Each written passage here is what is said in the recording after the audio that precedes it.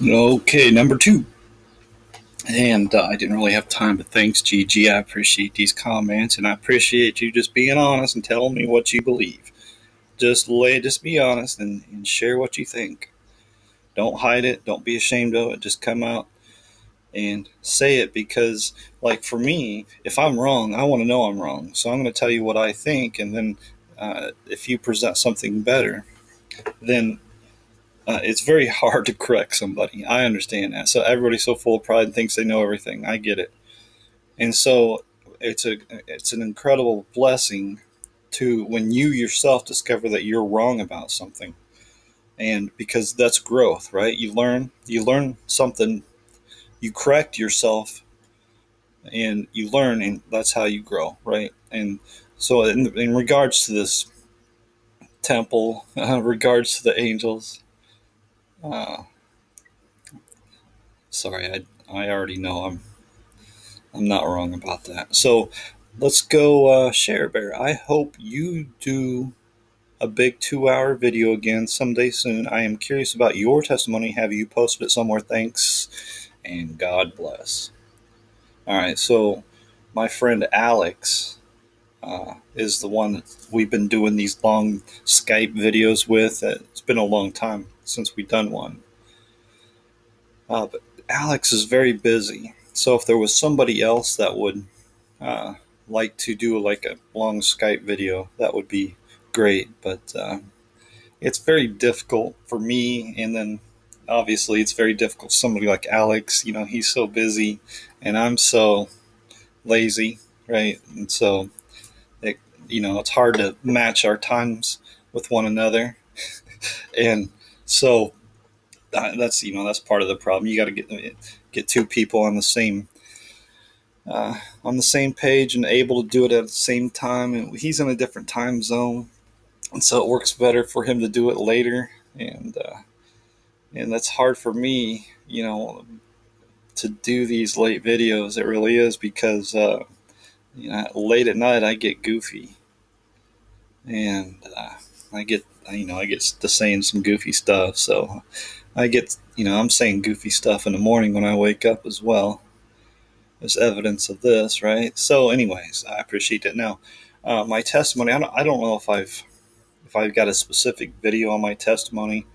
Uh, I've talked about it uh, in pieces, and um, you know, to give you a short version, in 1995, I got uh, my hands on a Bible, and uh, well, I go back before then, 1993, I believe it was, or maybe it was 91, one of the two times, or 92, whenever it was. Uh, I was living up in Minneapolis for a short time, and I came across this uh, gentleman. I was working with this guy, and we were working for his company called Old School Masonry, and you know, old school meant old school.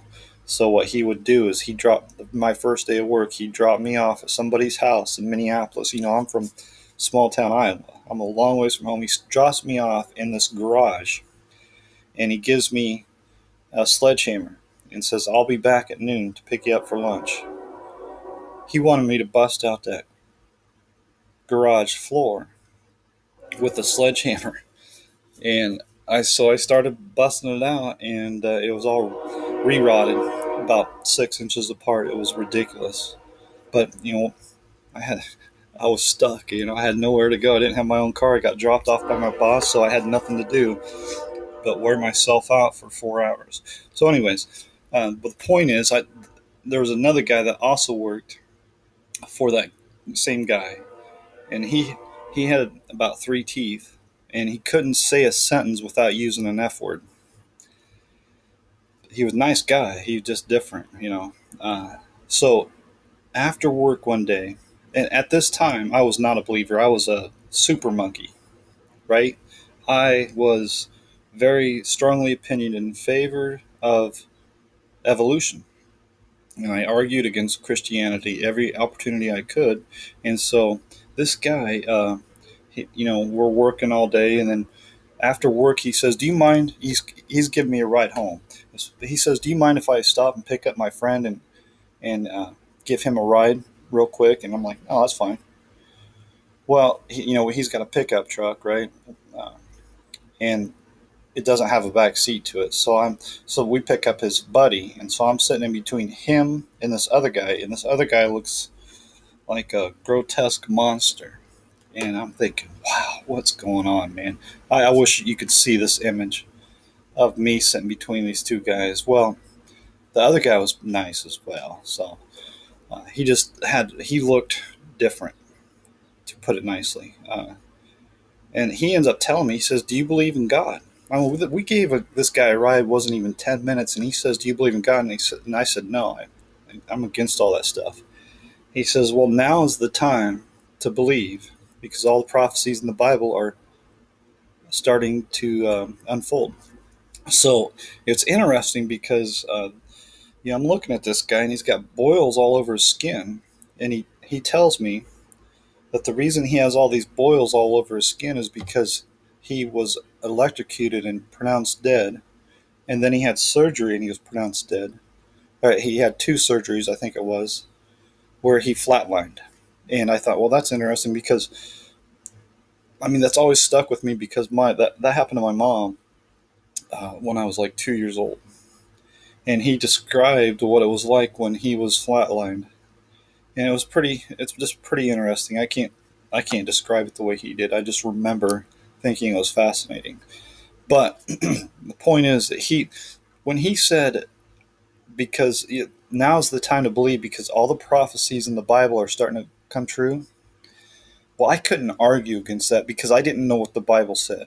So finally, in 1995, I got my hands on a Bible, and I happened to uh, live across the, the, street. I lived in Monroe, and uh, across the street was an old classmate who came over, and he was a Bible believer, Bible reader. And I, I asked him, you know, if he could share some stuff about the Bible with me and he says that uh, well the first thing he asked me he, sees, he says do you know what the gospels are?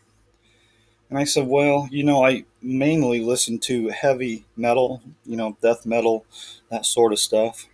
And he says no no no no. He wasn't talking about music. He was talking about gospel. I didn't even know. Here i am 25 years old didn't even know the concept of what the gospels were. And so he shared that with me and then he uh, recommended that I start reading the Bible in the book of John. Well, uh, you know, I was going to read it, but I was going to, you know, find where it's wrong. I thought I was smarter than everybody else. I'll just read it and I'll figure out what's wrong with it, and then I'll teach the world, and we'll all be on the path uh, to you know outer space. So, I mean, honestly, that's what I thought. So, uh, you know, obviously, by the time I got to John chapter three, uh, I was realizing the Bible wasn't wrong. I was wrong. And that goes back to, uh, you know, the Word of God is quick and powerful, is a quick, powerful two edged sword, right? Something like that.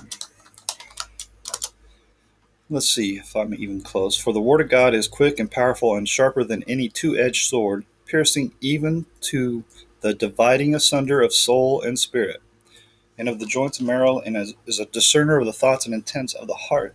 So, as I was reading the Bible, uh, the Bible was reading me, right? And so uh, I was very con- convicted, man. I was like, man, this stuff makes too much sense. And especially, you know, John 3, when he's having the conversation with Nicodemus and he's explaining uh, that which is born of the flesh is flesh and that which is born of the spirit is spirit. You know it's crazy as much you know i spent more time in high school than anybody. And you know all this uh, time in public school system i had no idea what jesus really taught. I had no idea what the bible really says. You would think education should be about educating children. It's not. It's about brainwashing children and you can hopefully understand why I'm very much against the public school system, and I have resentment uh, and a little bit of anger toward it because they aren't teaching children children the truth. Right. So that, in short, that's kind of a longer, short version, but I appreciate that comment.